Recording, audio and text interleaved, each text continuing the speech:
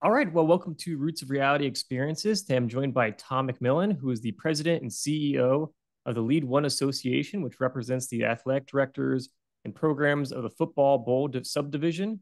In the past, Tom was the most highly recruited high school athlete of his era, an All American basketball player at the University of Maryland, a Rhodes Scholar, and a member of the 1972 U.S. men's Olympic basketball team. Additionally, he played 11 years professionally in the NBA. He is a former member of the United States Congress a member of the College Basketball Hall of Fame, and is the author of the book Out of Bounds Examining the Influence of Sports on Ethics. So, Tom, thanks for coming on today.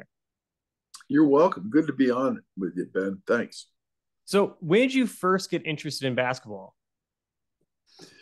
Well, my father came from a basketball family. He, uh, his career was uh, curtailed because he had a form of polio when he was a young man that uh, really damaged his leg, so he was not able to be a, a, great basketball player. But his brother was a very good basketball player. He played um, in college at Syracuse, and uh, I think he even played uh, minor league basketball a little bit. So it, it, all came from my father's side of the family, uh, yeah. who were very loved basketball. Yeah. So I guess it was in the family DNA then to play yeah. basketball. cool. Well, it also helped that my um, my mom's side, uh, they were kind of they, they my mom's father was a farmer, but their children, a couple of them were very tall in the six four uh, range. So there was height on my mother's side, and there was really height on both sides of the family. So that helped too. Yeah, definitely. Okay. And so, what was it like, you know, coming up in high school and being this say, highly sought after, you know, basketball star? I mean, did you feel pressure? Because I know you were on the cover of Sports Illustrated and you know all sorts of stuff. Well, being on the cover of Sports Illustrated, I was the second high school athlete ever to be on the cover. Yeah. So it, they always call it the Sports Illustrated curse. You know, it's uh, puts a lot of pressure on a young person. I um, so I grew up in a very small town, and uh, there were several reasons why I was able to break out of there and be a, a, a, really good basketball player. One was we had a college in our town, Mansfield State College, now Mansfield University, where I routinely practiced with college players. And so that was really vital in my development. Secondly, my brother was six years older than me, and he ended up going to Maryland. He was a very good high school player, went to Maryland, University of Maryland was an outstanding player there. And then he went abroad, played professionally in Europe, drafted by the Lakers, and then he went into to medical school. So I had a brother that was very good basketball player. And third was that I had the experience of going to a lot of camps when I was a kid. And so I, I would go to the University of Carolina camp and, and all these camps, and they would see me, and sort of that created a little bit of a buzz.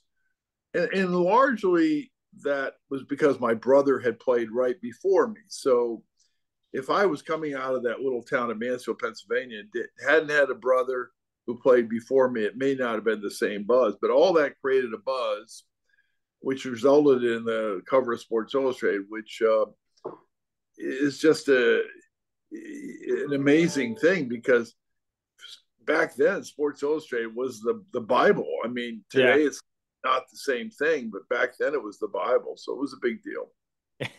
Do you remember like your first reaction to learning that you were going to be on the cover? Well, I do, and you know they had photographers tr- follow me around for weeks on end, and um, and uh, yeah, I knew it was a big deal. Uh, there was one player before me, and being the second was pretty significant. It really it it put my little town on the map, but it also became a magnet. Coaches started, you know, showing up, and we had uh, all kinds of national news organizations that came to this little town, and so uh, it was a um, it was a moment in time that you really can't forget because it was so extraordinary. Yeah, makes sense. Now, can you talk a little bit about like getting involved with the U.S. Olympic team and what that was like? Well, I was selected to be part of the 72 Olympic team. There's a tryout in uh, in at the Air Force Base, and initially I didn't make the team, and so I went back home, and we got hit by Hurricane Agnes at the time, and our home was destroyed. So I was working with my brothers trying to dig mud out of the house. Oh my and then gosh. A couple weeks later, I get a call that I'm going back on the team because Swen Nater, one of the players, um, quit. He didn't like the harsh conditions and the and the practice schedules and so forth. So I joined the team a couple weeks later, and we went through a very abbreviated training schedule. We had to we had to get ready to play in the Olympics, and we were going to play against teams that had been playing together for years. Yeah, and so it, um, it, it there was a lot of pressure, and uh, we, as I said, we trained at Pearl Harbor in Hawaii, and it was very brutal. There was no air conditioning. It was really it was tough. Sometimes we practiced three times a day. It was extremely difficult. The coach of the Olympics back then was Hank Iba, and he was an old disciplinarian and he just he was very old school and i think that was hard for a lot of my teammates to adjust to it because he was so old school and uh, yet, we we you know we managed to move on and then we headed over to munich for the olympics yeah well i think what's really interesting also about like that era of basketball at the olympic level is that you know the american teams were always filled with college kids and you, you had teams you know around the world that were putting in you know adult men, you know, that have been playing professionally in their home country. Like, was that kind of weird always to be in that atmosphere, despite you know the U.S. always considered to be the you know the dominant team? But it was it was classic United States having to play with one arm behind its back. In other words, um, United States was so good at basketball, you know, founded the sport and everything, and as it it spread around the world, uh, a lot of nations adopted basketball and became very good at it. I mean, Cuba and Spain and all these countries, uh, the Soviet Union, uh, they in Italy, the, Yugoslavia. They were very good uh, basketball programs, and largely because we exported that. We sent coaches over there. We trained uh, these countries how to play. I mean, some of the countries had never played basketball until we exported our coaches and everything over there. The result of that, the world was getting better and better at basketball. And they had one big advantage was that if you're a pro in Europe, you could be in the Olympics. Or if you were in the military and you were on the team like the, the Soviets, you could be in the Olympics. The United States, as soon as you crossed over and went to be a pro, you weren't able to participate in the Olympics. So it was really, it was really uh, kind of a two-tiered system. so we went into the Munich Olympics. We're 18, 19, 20 years old. We're playing against a Soviet team for the finals. They're 28, 29, 30 years old. So they were they were true pros, you know, well developed physically, mature and all that. And so it was quite a challenge. Yeah. I mean, that was obviously, you know, the, the craziest game in basketball history um, because of how insane it was and and what happened uh, you know, can you talk about like what was the atmosphere like in that game? I mean, obviously it's during the Cold War still. Um, you know, what what was going on in the heads of American players, and what were what was the you know, uh, what do you think was the attitude of the Soviet players in that game? Well, first of all, you have to put that in context. Five days before, on September fifth, the uh, Palestinian terrorists had stormed the Olympic Village and ended up killing these, many of the Israeli athletes that was unheard of. I mean, terrorism itself was pretty unheard of. To have it infiltrate an Olympic Village was so mind so surreal and mind-boggling. Yeah. yeah, we had to continue to practice and get ready for this game, and it was difficult because you realize that some of your fellow athletes were literally murdered in and out in and outside the village. Um, and the Olympics would never be the same after that particularly the security around the Olympics. And so we were getting ready to play this Soviet team. It was going to be at midnight. Um, and and the reason why it was midnight so that American fans could watch the game uh, on Saturday afternoon, Saturday early evening, and uh, uh, it, it, was a very high stakes game the Soviets wanted so badly to beat the United States. They had never won in like eight Olympics since 1936. The United States was continuing to dominate. And the Soviets were going to do whatever it takes to win this game. It was so important to their society. It was so important to show the superiority of the Russian and the Soviet system. we uh, we were right in the middle of a Cold War conflict. I, I've always said that we didn't really need to play that game. Uh, Nixon and Brezhnev just could have arm wrestled, as yeah. it turns out. But we did play the game, and as you know, we came from behind and literally won the game. Yep. and then they just started resetting the clock, and finally, on the third reset, the Soviets prevailed, and to this day, we refuse to accept the silver medals. Yeah, that's yeah, yeah. I mean, it's I can't imagine what it would have been like to be a player in that game and just it's you know it just I mean like the kookiest sporting uh things that ever happened. I mean, I just can't imagine. You know, it's like what is happening here? Like, why? What are you guys doing? so, um, it was a comedy of errors, uh, and largely because of the fishing. What happened was an official who headed up the whole FIBA which is the International Basketball Organization, similar to the NBA commissioner, came out of the stands and forced the game to re- be to be replayed. That would be akin to the commissioner of the NBA coming down and say, "Wait a minute, guys, we're going to play that last play in the yeah. World World Finals a couple more times," and um, and it was so out of out of sorts, and we should have won that game. If you look at it by any reasonable judgment, Yes. Um, when uh, Doug Collins took the free throws and made those, the Soviets were not granted a timeout, and the game should have just gone on. The clock should have just run out. Instead, they storm the, the, the, the floor and stop the clock, and they get a timeout awarded to them. So they they they should have lost the game right up front. Yeah. Instead, the referees give them, you know, several times to win, and finally on the third time they won. Yeah. Or or at least they prevailed. We would never accept the fact that they won. Right. Yeah. It's obviously the yeah pretty pretty ridiculous, and clearly there's something off about everything that happened there. so, um, yeah, understandable. Um, it, uh, did you ever hear about? I guess you might. You probably did. But like when how Russia came out with a, a film about that game a few years ago. Yeah, it was a. What was, what was your reaction to that?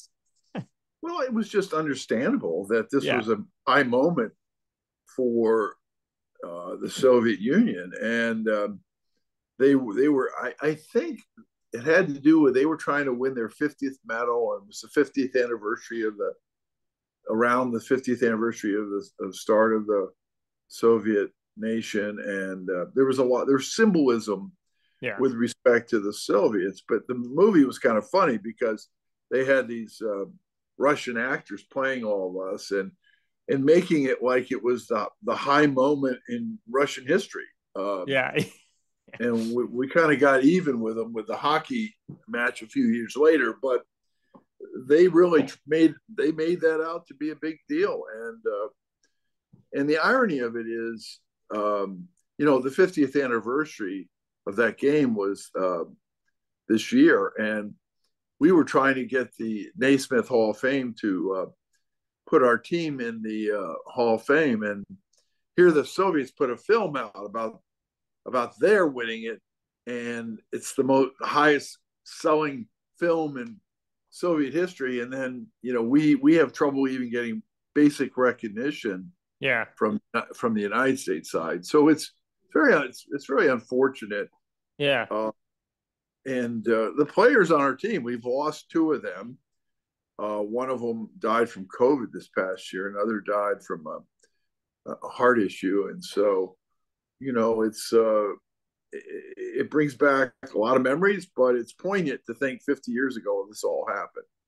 Yeah, well, I think one of the the, the coolest things and why I mean, obviously, you know, the 1972 team is like the most one of the most memorable teams in American history, just because of what happened to you guys and you know you know how you guys stood up for yourselves afterwards. I mean you know showing like you know we're not going to accept this. This is obviously ridiculous situation you guys put us in here um you know you should have won the game so uh it, i think that's what's really cool about your stories because it, it does show you know something about like what it meant to represent your country in that situation so a lot of people thought it was kind of bush league that we weren't accepting the the silver medal but in retrospect, if we had accepted it, this whole thing would never have been brought up. Now it's brought up every five years, every 10 years.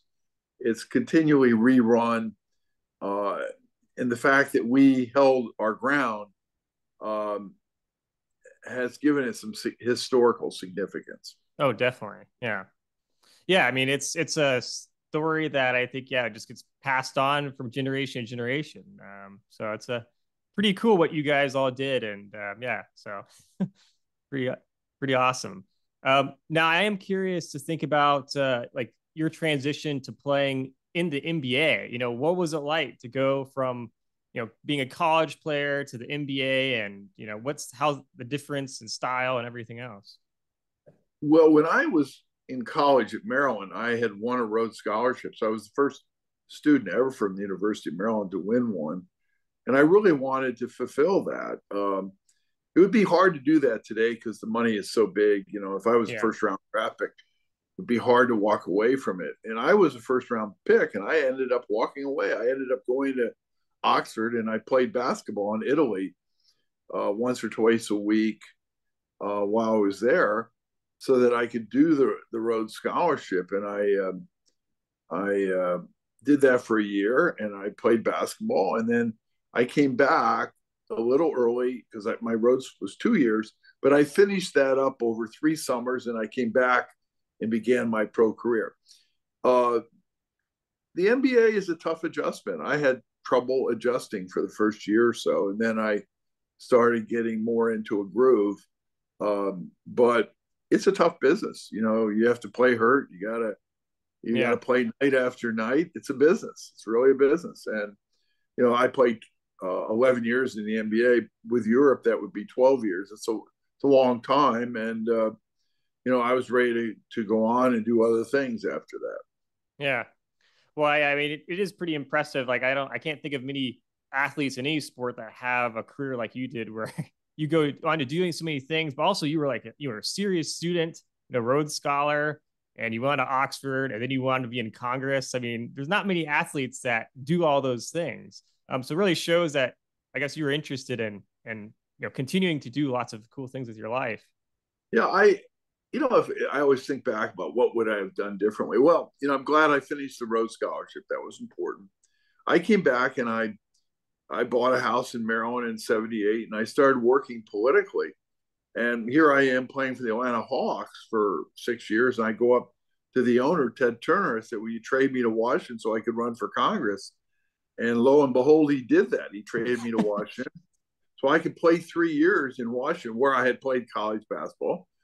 And the start of my last year, my third year, I announced for Congress. I was going to run while I'm in the NBA.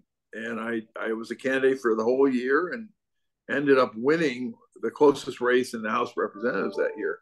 But I pulled it off, and uh, it was an experience to serve in the in the in the United States Congress. Yeah, that's pretty incredible. Um, so, how do you think basketball has changed, um, you know, since your career? Well, when I was in the NBA, uh, first of all, the dunk just came back in, so that was fairly new. They they had this no dunk rule for a long time, and then of course the three point play was instituted right near the end of my career, and you know people would shoot it, but it wasn't anything like it is today. I mean, yeah, it was a shot that people just didn't practice like they do today. I mean, if I would grown up today, I would have been shooting threes, you know, from time I'm, you know, six years old, and you would have developed a skill set that was entirely different than the skill set I had. I was a good outside shooter as an NBA player, so that was a real asset of mine. And uh, I can imagine if I were playing today, I would have been even a better shooter. Yeah. Uh, so it really has changed the game. It's put a premium on that outside shot, less of a premium on, on the inside game. I think it would have helped my my career because I was actually a pretty good inside player and I was a, a good outside shooter. Um, but those those rules hadn't been in place long enough to really make that transition. Yeah, yeah, that makes sense, and especially you know since you were you know a, you played center, and so I mean being able to shoot threes is, is such a, a big piece to have if you're a center these days. So yeah, uh, and it wasn't that much.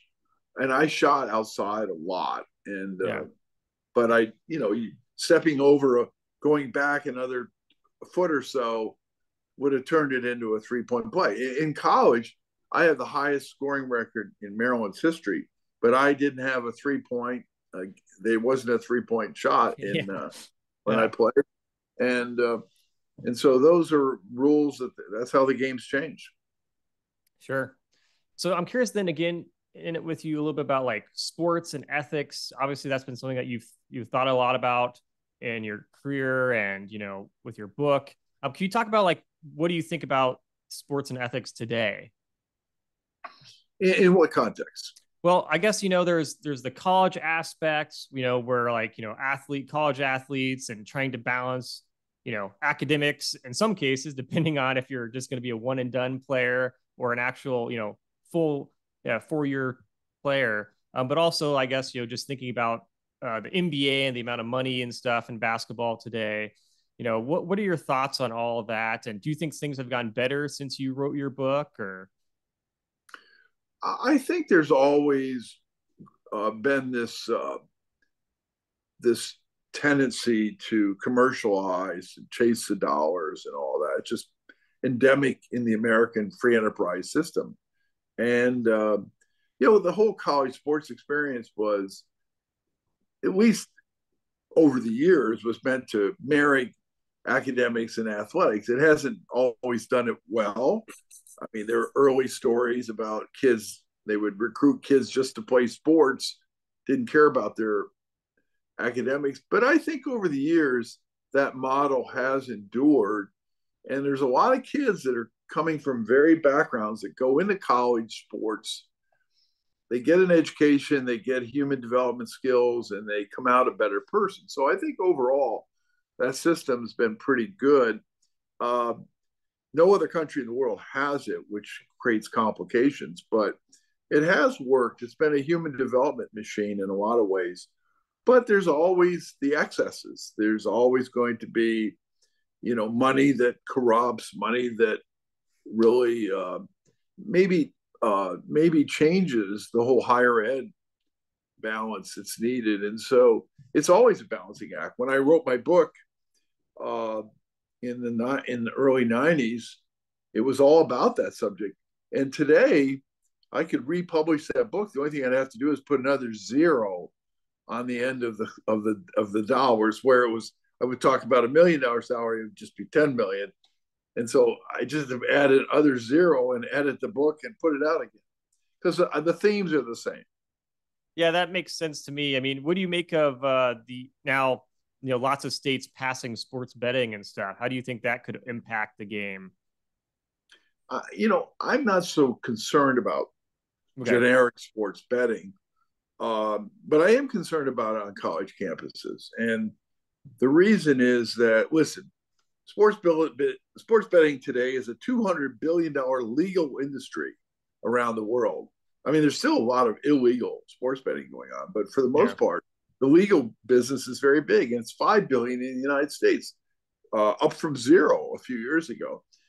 But here's the difference: in America, we have a lot of sports betting going on college campuses. You know, we're betting on you know, the team to win or a player to do something.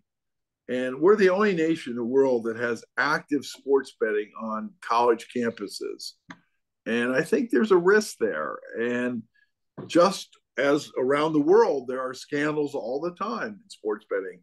There are scandals. There's been scandals in Germany and and and uh, Pakistan and and the Far East, and there will inevitably be scandals in the United States, and they will be on our college campuses. And I think that's going to be problematic. I, I just think that our universities are one of our greatest assets because that makes us competitive, whether we're competing against the Chinese or what other country in the world. And if you have uh, these kind of scandals on your campus, it'll be interesting to see what happens. If you look back at the scandals at Northwestern and, and, and you know, uh, Boston College and so forth, uh, they they they were pretty damaging to those institutions. Remember, those were illegal gambling. So there wasn't the university embracing it. This just happened to happen. Well, now universities are embracing sports betting. what will be the ramifications if there is a scandal? It, it, it's not if there will be a scandal. Yeah. The question is what will what will the ramifications be? Yeah, it's always it seems like uh yeah, always a, a tricky situation. And I've always kind of found it sometimes be uncomfortable to see you know how big college sports becomes when you're dealing with you know just student athletes um, and the concern for you know things being corrupted in, in some ways um, and i know that there's been other issues with like players and their name and likeness and whether they can make money off it or not uh, so hopefully the ncaa and everyone else can get this figured out and prevent big scandals from happening but yeah it does seem like a challenge it's it's the age old uh, tug of war between commercialism and academics. You know, we're always fighting that. Are we in higher ed? You're right in the middle of it, and commercialism has prevailed in a lot of respects. Whether it's coaches making a lot of money, or you know these huge facilities being built, or players making a lot of money, and sports betting and being infused on campuses, commercialism is alive and well. And it always challenges the academic values and that's what's happening. It's been yeah. going on like this way for 30 40 years. Or right. longer. Yep. Always always an interesting thing. Um, so what are you currently working on then? What are you up to these days? So i'm the ceo of lead one. We represent the 131 largest college athletic programs of the football bowl subdivision we're working on all the different issues whether it's name, image, and likeness, the transfer portal, um, you know, how how we juggle the employment issue involving student athletes, sports betting, you name it. Uh, and most recently, we've been working on how uh, FBS football should be governed within the NCAA. And so mm. There's never a lack of issues, and those are the things that we uh, spend our time on yeah, I'm sure that keeps you plenty busy and we'll for the yeah. foreseeable future. it has. It really yeah. has. Never ending stream of stuff. Um, cool. Well, what's the best way for people to keep track of your work and you know follow what you're doing? If they go on our website, Tom at lead L E A D number one a dot com, they can. It's actually it's the Lead One Association Mm-hmm. So it's lead one, number one association.com. So perfect. And I think you're also on Twitter, correct? Yes, we are on Twitter. So okay, perfect. And you have a personal page on Twitter, I think. yeah, people can follow. And... Facebook. Cool. I have a Facebook page, so people can watch on that too. So cool. All right. Well, thank you so much for coming on and sharing all your knowledge and experiences. And you've done so many amazing things. So it's really cool to talk to you. Yeah, anytime. And wish you that very happy holidays, Ben. Absolutely. You too.